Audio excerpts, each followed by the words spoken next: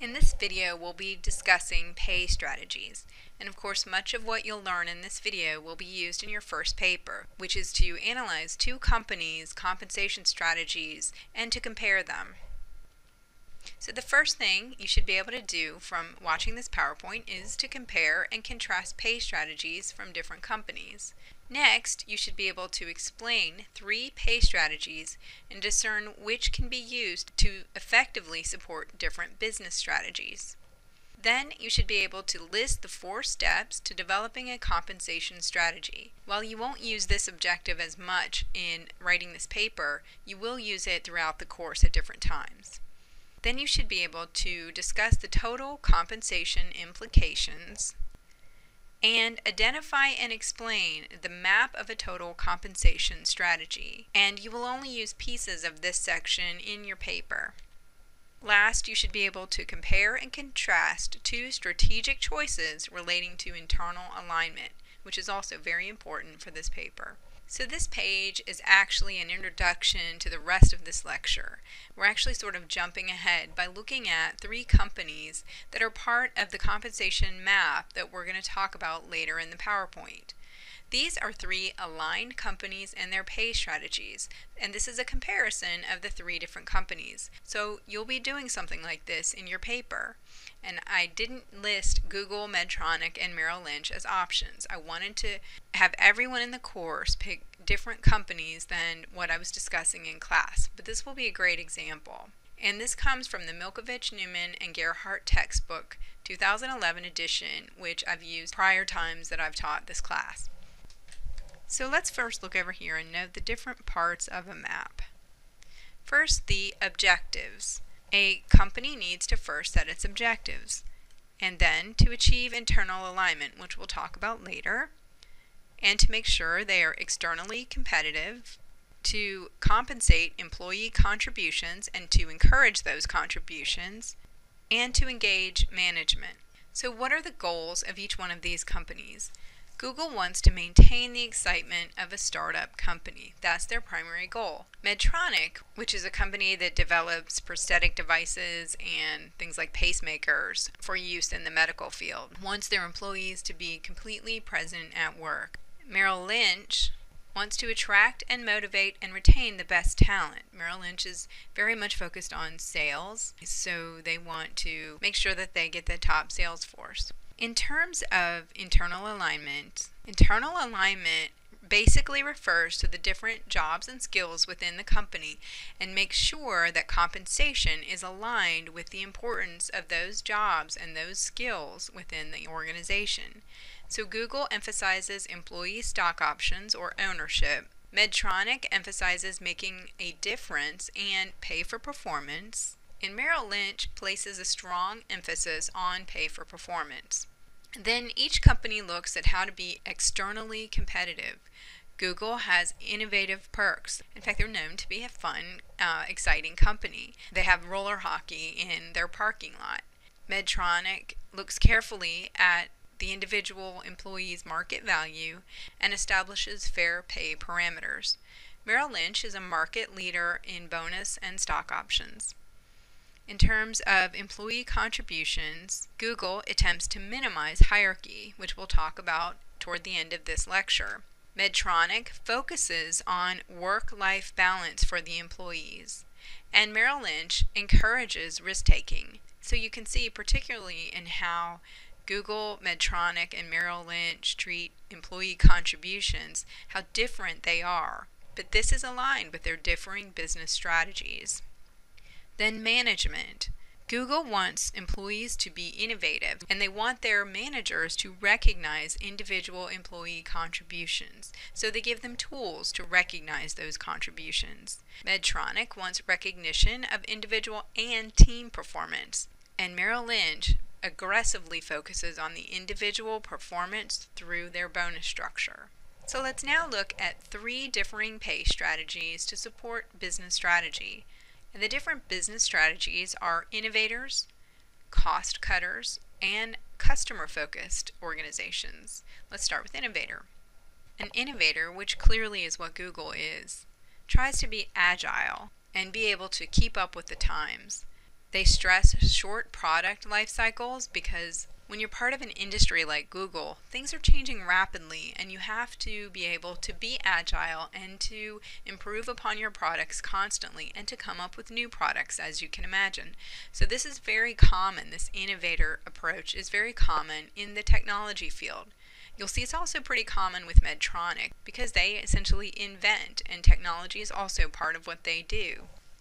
Typically, innovators do stress risk taking, but it's very controlled risk taking. Like in the assignment, I noted that Google actually encourages employees to spend 20% of their time working on projects that they're interested in. This encourages them to be innovative and also to be excited about their work. And so they reward innovation, both by providing time for their employees to be innovative, and they may actually provide direct bonuses, merit pay raises for innovative results. Next, there's the cost cutter. And I don't think any of the three that we've looked at are cost cutters. In fact, there's not many cost cutters in the list that I gave you, but you might find one or two.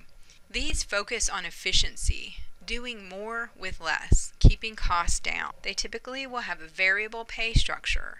This way, expenses can be cut when revenues are down, and employees can actually share in some of the profit of the organization. So this could be a positive and encourage good performance. It also allows that when the organization is not profitable, they can correspondingly spend less on compensation. And there is a focus on the competitor's labor expenses. This corresponds to the idea we'll look at in a minute, where you spend only as much as you have to to keep your employees. Then there's the customer focused organization which you could argue that Merrill Lynch is probably the most customer focused, but Medtronic is also very customer focused. These types of organizations want to deliver customer solutions and to exceed customer expectations so they can keep customers within their organizations. Since oftentimes, with this type of organization, there are lots of other similar or homogeneous organizations in the same industry. Merrill Lynch has a lot of competitors in terms of financial advising. So, frequently, you're going to tie pay to customer satisfaction. You may actually give merit raises based on customer surveys, for example. This type of business strategy is fairly common and important in sales organizations where obviously keeping the customer happy is important. But one thing to consider is that you don't want your sales force to only focus on new customers. The mistake that a lot of companies have made, particularly in the industry I'm most familiar with, the insurance industry, is to pay the most for new business. And so if you give commissions that are much higher with new business and pay very little or nothing with retained business, what does that employee tend to do? Of course, they're going to tend to focus only on going out and getting new business, but they might ignore their existing customers, which makes you tend to lose those customers to the competitor. So you want to consider that while you might want to pay a little more or a little higher commission for new business, but you might not want to drop that commission too much for renewal business. All right, now let's look at four steps to developing a compensation strategy. First, you want to assess total compensation implications, which we'll talk about in the next slide. Then you map a total compensation strategy. Next, you're going to implement that strategy, which is fairly obvious, so we won't talk about that specifically here. And you want to reassess because with any procedure, you always, of course, need to reassess. Not only do you need to set your objectives, but at the end, you need to always reassess whether or not your strategy is actually achieving those objectives. So, let's talk about assessing total compensation implications. This is really part of setting your objectives, which we'll talk about in the next slide on mapping your total compensation strategy. But before you even begin, you want to sit down with your stakeholders in the organization and determine what are the total compensation implications within your organization. Part of this is what's important to your organization. You need to think about all of these things culture, values, which include being ethical and what kind of organization do you want to establish in terms of ethics and reputation and building and maintaining long term relationships. You can clearly see from an organization's compensation strategy and their mission statement how important ethics is to that organization. And of course, every organization is concerned about reputation, but it's a question of what kind of reputation do you want to maintain. And you also need to consider social and political issues and sometimes legal issues. Uh, there was recently a court case that went to the Supreme Court where a young woman applied for a job at Abercrombie Fitch and she wore a headscarf which is apparently against Abercrombie Fitch's rules that employees wear any kind of cap. And so she didn't get the job because of the headscarf. The Supreme Court just ruled that was a discriminatory practice under Title VII of the Civil Rights Act. So this crosses both social, political, and legal issues. And these are the kinds of things that all employers need to consider. Also, you have to consider employee preferences, including how they differ among groups. For example, you might say, well, we want both men and women working within our organization, and we want women and men at all different ages. Not to be sexist uh, or ageist, but it is most common for women between ages 20 and 30 or 35, but becoming more common even for men, to really care about having flexible work hours.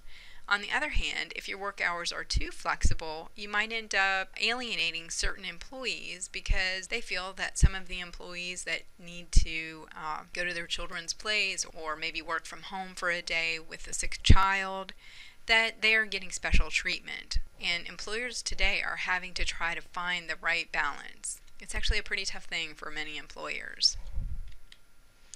Now let's look at mapping a total compensation strategy. You see here the all the elements that were in the first slide when I compared Google and Medtronic and Merrill Lynch.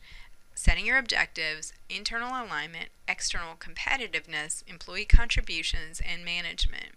Objectives are, as I said, related to the first step.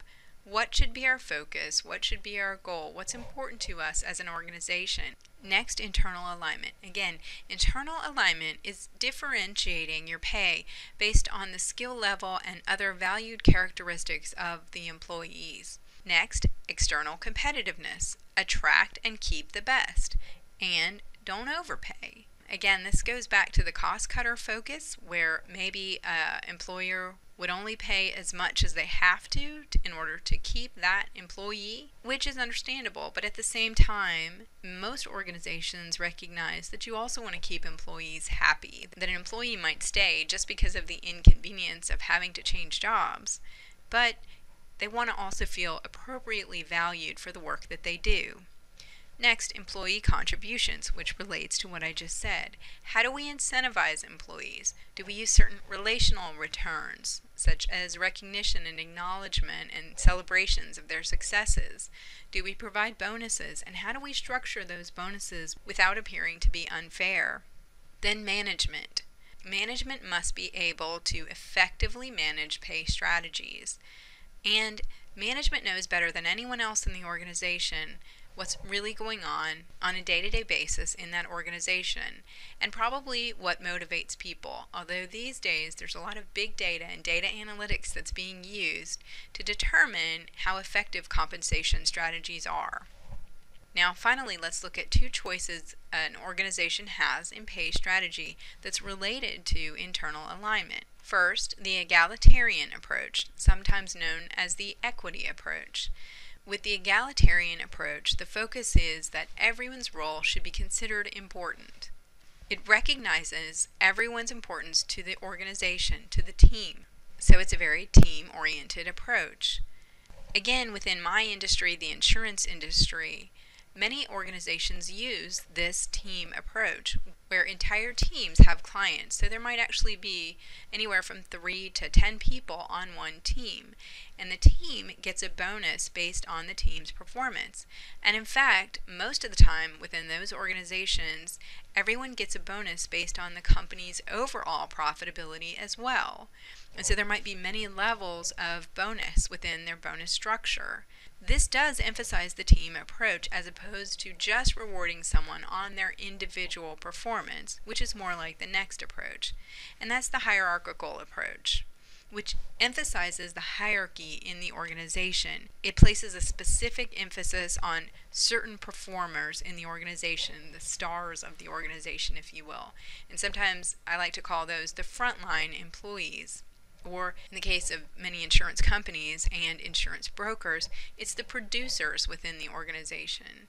And I've been sort of on both sides as a producer within an organization and as somebody who's more of a backroom staff person. And I can tell you that for some people, it is kind of disconcerting sometimes when you work just as hard, you think, as the producers, but because they're on the front lines and oftentimes viewed as the ones bringing the money in, they get paid more. So, an organization again has to find that right balance between making sure that they motivate their sales force or their other frontline employees to work their hardest and to present the best front and to be customer focused. But at the same time, they don't deter all the support staff from working very hard also because, of course, the organization couldn't function without the support staff. If you have any questions about your paper or about this PowerPoint, please don't hesitate to ask.